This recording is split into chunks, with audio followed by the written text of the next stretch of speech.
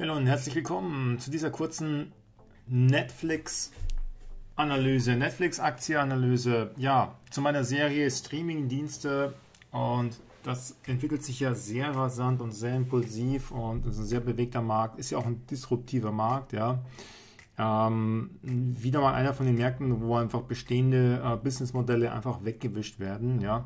Oder wer von euch hat noch äh, in seinem Dorf äh, irgendwo eine Videothek? Ich glaube, existiert einfach nicht mehr. Oder ähm, wann hast du zum Beispiel zum letzten Mal eine Blu-ray gekauft im Mediamarkt? Ja, also bei mir ähm, schon eine ganze Zeit nicht mehr oder ein DVD ganz zu schweigen.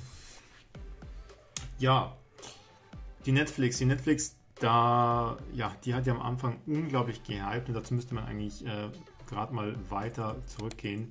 Ein Jahreschart reicht da einfach nicht aus. Also wir gehen jetzt mal bei drei Jahre, ja, fünf Jahre, da hat sich nicht so viel getan. Ähm ich würde mal sagen, drei Jahre genügt jetzt einfach mal so. Das sind eigentlich so die interessanten Börsen oder die interessanten Aktienjahre so seit 2017, da wo sie so nochmal so richtig angegangen, äh, angestiegen ist. Die meisten mehr, also viele Aktien zumindest. Ähm, äh, was ich eigentlich sagen wollte, ist, dass ich schon immer sehr suspekt äh, gegenüber der Netflix-Aktie war. Also ich habe noch nie ein einziges Stück von der Netflix-Aktie besessen. Am Anfang war ich mir ein bisschen nicht ganz sicher, ob sich das durchsetzt oder wie, wie sich durchsetzt und so weiter. Und dann letztendlich habe ich auch etwas zu spät Wind äh, davon bekommen. Da, da, das war dann so, ja, so ähm, 2017, 18 rum. Ähm, wo dann äh, letztendlich äh, viele wahrscheinlich schon ihre Gewinne mitgenommen haben, äh, respektive AK äh, Collier Barcon mit Aktien mit Kopf, na, der, der war ja da fett investiert, hat glaube ich 9000 Euro Gewinn gemacht, Gratulation. Ja.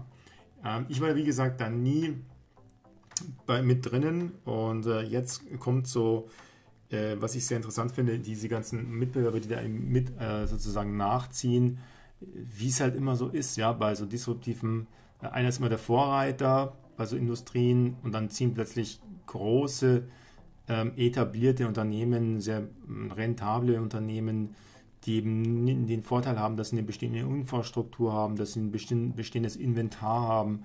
Also ungefähr vergleichbar mit, äh, mit der Automotive-Industrie gerade, wo halt ähm, Tesla innerhalb von 180 Tagen da einen Meilenstein legt, äh, das Unmögliche möglich macht, um ihre erste Gigafactory in China zu bauen, wobei VW bereits fünf vergleichbare Fabriken äh, dort ähm, seit vielen Jahren bestehen hat und da jetzt gerade zwei davon oder drei umrüstet, teilweise zumindest, ja. Also ähm, so klar ist es noch nicht, ähm, wer dieses, dieses Rennen gewinnt, mal abgesehen davon, wie sinnvoll Elektromobilität ist. Ähm, hier, was jetzt ähm, Streamingdienst betrifft, ist ganz ähnliches Bild. Wir haben, wir haben die, die, die Disney jetzt seit, äh, seit ein paar Wochen live. Äh, Apple TV ist live, ja, also mit dem Streamingdienst. Wir haben natürlich Amazon Prime, äh, die nochmal eine ganz andere ähm, ja, Marktmacht besitzen. Ja, die können natürlich intern äh, Gelder fließen lassen, nochmal eine ganz andere Hausnummer. Und jetzt kommt da so, so, so, so ein paar äh, Analystenmeinungen auch plötzlich von so ja, wie, wie heißen die da jetzt nochmal? Ähm, ja, ich weiß jetzt gar nicht mehr, wie die hießen. Ähm, egal, auf jeden Fall ähm, einfach mal kurz die nackten Fakten auf den Tisch legen, was ähm, Netflix betrifft. Netflix, wie du wahrscheinlich auch weißt, äh, hier ist mein sehr informierten, in der Regel sehr informierten, äh, lieben Zuschauer und Zuhörer, ähm, was den Aktienmarkt betrifft. Ähm, zumindest die meisten meiner Zuhörer und Zuschauer sind sehr haben schon ein sehr hohes Niveau, ähm, dass mit jedem Abonnenten, also das möchte man meinen, ungefähr momentan, summa summarum hat äh, ähm, ähm, Netflix hat ungefähr 140 Millionen Abonnenten, ja, wobei ähm, nur mal im Vergleich, am ersten Tag, wo Net, äh, Disney im Vergleich zu, dazu äh, live gegangen ist, hatten die 10 Millionen Abonnenten. Ja? Also das ist quasi ja, weniger als ein Zehntel, aber es ist stetig wachsend. Ich weiß gar nicht, wie viele momentan Abonnenten die haben. Aber es ist nicht allein die Abonnentenzahl ähm, entscheidend äh, für den Erfolg oder Misserfolg und respektive für, das, für den Aktienpreis, der dann letztendlich den Miss- oder Erfolg des Unternehmens widerspiegeln sollte, beziehungsweise die Zukunft äh projiziert. ähm, es ist nicht allein die Abonnentenzahl. Also es nutzt Netflix nichts, wenn die 140 ähm, Millionen Abonnenten haben, wenn sie für jeden Abonnenten 2 Dollar draufzahlen. Ja? Also, wenn du dich heute anmeldest bei Netflix, dann gibt Netflix noch 2 Dollar obendrauf. Du zahlst 10 Dollar im Monat. Ich glaube, in der Regel, das ist zumindest das, was ich zahle, ähm, für, für, als Beitrag. Und Netflix zahlt nochmal 2 Dollar obendrauf, ähm, damit, die, damit, damit, damit das läuft. Ja? Und das ist natürlich keine Zukunft. Das ist natürlich ein Businessmodell oder eine Situation, rein von, dem, von der Bilanz her, ganz ähnlich wie bei Tesla, Amazon etc. Äh, nur nicht vergleichbar natürlich, aber vom, von der Idee her ist natürlich Netflix unbedingt darauf angewiesen, ähm, Marktanteile sozusagen Platzhirsch zu, zu bestehen, zu bleiben und zu sein. Also quasi den Markt ähm, ja, unbedingt zu erobern. Ja? Also es ist ein, ein, auf Wachstum, es hängt auf vom Wachstum zu, komplett vom Wachstumsfaktor ab.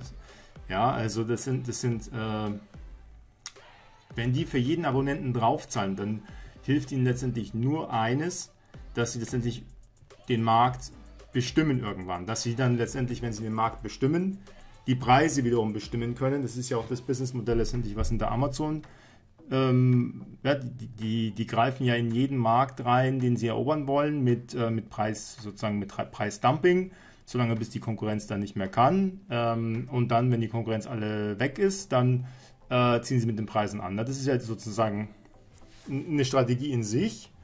Aber das ist ja genau rückläufig. Das ist ja genau das Gegenteil, findet ja gerade statt mit allen, den, mit den ganzen anderen Streamingdiensten, die ja gerade alle live gehen und wesentlich rentabler sind und mit wesentlich mehr Inventory, also sprich Inventory, also mit einer höheren Inventur, mit einer besseren Infrast bestehenden Infrastruktur wie Disney, Apple und so weiter.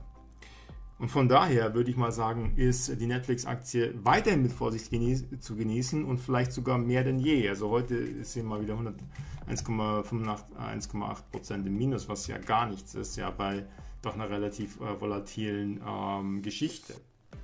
Ähm, ja, also jetzt ähm, gibt es natürlich Überlegungen, dass Netflix hier äh, mehrere zusätzliche Ebenen einführt um äh, letztendlich hier ein attraktiveres Angebot äh, in sich ähm, zu, zu gewährleisten. Es gibt hier äh, sozusagen Hochrechnungen oder Prognosen, dass nächstes Jahr ähm, ich habe ja gerade eben gesagt, dass Netflix mit, mit dem Modell, dass sie draufzahlen für jeden Abonnenten, letztendlich davon angewiesen, darauf angewiesen sind, äh, stetiges Wachstum zu erfahren. Und jetzt gibt es Prognosen, dass sie aufgrund der Konkurrenzsituation nächstes Jahr sogar bis zu 4 Millionen Abonnenten verlieren werden. Also auf jeden Fall nicht wachsen, stagnieren im Wachstum oder vielleicht sogar Abonnenten abgeben müssen im, im doch wichtigsten Markt momentan mehr oder weniger, also im US-Markt. Das ist auch kein gutes Zeichen. Und ähm, dann gibt es natürlich noch Sachen wie ähm, dass sie jetzt zum Beispiel sagen, okay, ähm, der Grund dafür könnte sein, dass alle anderen günstiger sind. Also ich habe zum Beispiel auch Amazon Prime, da, da zahle ich nur 7 oder 8 Dollar. Und dann zahle ich natürlich für manche Filme nochmal on top. Aber ganz ehrlich, Amazon Prime, was es mir sozusagen als Gratisfilme bietet, ich habe noch nie einen Film dort äh, bezahlt, weil früher oder später kriege ich ihn umsonst. Das heißt, ich zahle unterm Strich ungefähr nur ja, 75, 70 Prozent und für die große, große Masse, das einzig vergessen, die große, große Masse, ja, die, die, die, die gut betuchte Mittelschicht in den USA, ja, so die, dieser Markt, ja, die, die gut betuchte Mittelschicht, die gibt es schon länger nicht mehr. Also die wird immer dünner, ja. Das sind so die, die du immer in Europa halt gefunden hast, ja, die einfach so äh, in 14 Tagen einmal um die Welt oder so, ja, diese typischen äh, amerikanischen Touristen, die du halt hier siehst, die ganzen Armen, die siehst du hier, hier nie, ja.